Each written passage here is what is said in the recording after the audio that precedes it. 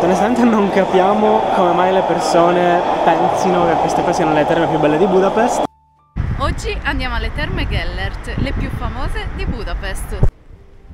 Siamo appena entrati, c'era un po' di fila, però siamo riusciti a farli subito i biglietti, abbiamo speso 27,50 a testa, oggi è venerdì quindi costa leggermente in più. I bagni Gellert si trovano nella parte di Buda e sono considerati tra i più famosi di Budapest per la bellezza architettonica dell'edificio in stile Art Nouveau e delle decorazioni interne di mosaici colorati e maioliche. Queste terme sono state costruite tra il 1912 e il 1918, vennero però danneggiate dai bombardamenti bombardamenti sovietici durante la seconda guerra mondiale e poi ricostruite successivamente. Le acque provengono dalle sorgenti termali del Monte San Gerardo e contengono proprietà curative. Infatti proprio qui nel Medioevo era situato un ospedale. Per adesso abbiamo trovato questa piscina, adesso ci facciamo il bagno. Speriamo di vederne altre perché per ora c'è soltanto questa.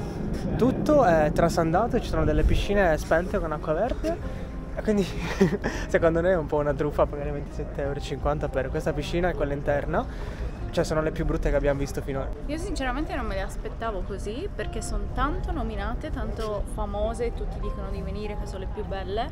Poi arriviamo e c'è tutto veramente mal messo, soprattutto la piscina qui che è lasciata praticamente decadente e quindi un po' mi sta deludendo. Spero di potermi ricredere.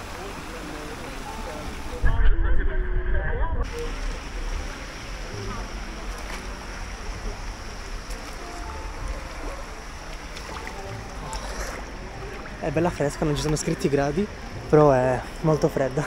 Entriamo nella sauna che dovrebbe essere intorno agli 85 gradi. Qui sembra molto bello a livello di statue, architettura e tutto. È un peccato che sia così trasandato, vabbè non si può accedere, però appunto sono un sacco di aree non si può accedere, sembra tutto abbandonato. L'impianto termale è composto da una piscina centrale, quella per nuotare infatti è la più grande, due ai lati che sono bagni termali, un bagno termale un po' più piccolo vicino alla piscina in cui si nuota, una piscina all'esterno che è chiusa e trasandata con l'acqua verde per adesso e una piscina più piccola sempre all'esterno che appunto è molto piccola.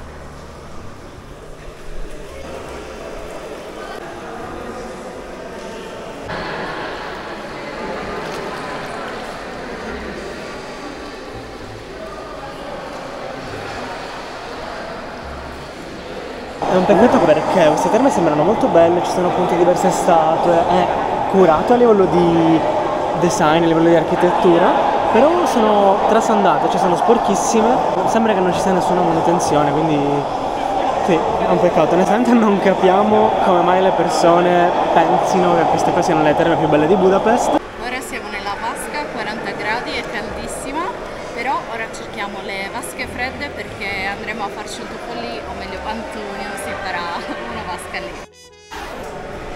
Non è molto fredda perché comunque è a 16 gradi però e all'interno non è freddissima. La cosa strana è che è praticamente nella sala docce, quindi è tipo nascosta.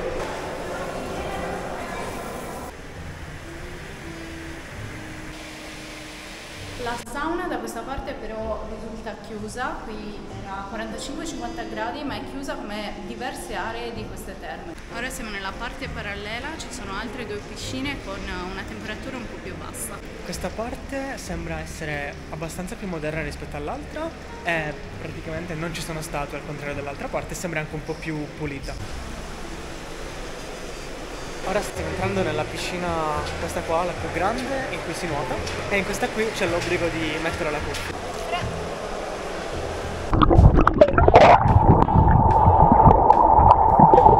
Questa piscina forse è la più bella esteticamente, sembra un po' più pulita rispetto alle altre e l'acqua qui è fresca ma ci sta perché appunto è per nuotare.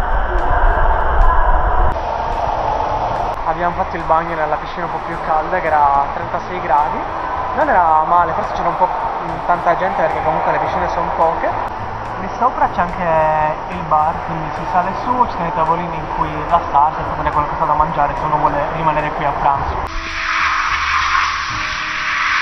Praticamente questa doccia sembra che non ci sia acqua calda, nel senso è girato verso il caldo ma l'acqua è fredda. Siamo usciti adesso dalle terme, per noi assolutamente da non fare, siamo rimasti super delusi. Probabilmente alle condizioni attuali avremmo pagato forse 5 euro per stare la giornata, non 27 eh, perché sono sporche, c'è poco da fare, sono trasandate, sono praticamente decadenti, non è a livello che ci aspettavamo che fosse. Quindi se volete andare a delle terme e divertirvi realmente e non spendere così tanto, vi lasciamo qui il video in cui siamo andati alle terme di Rudas perché quelle sicuro vale la pena provarle.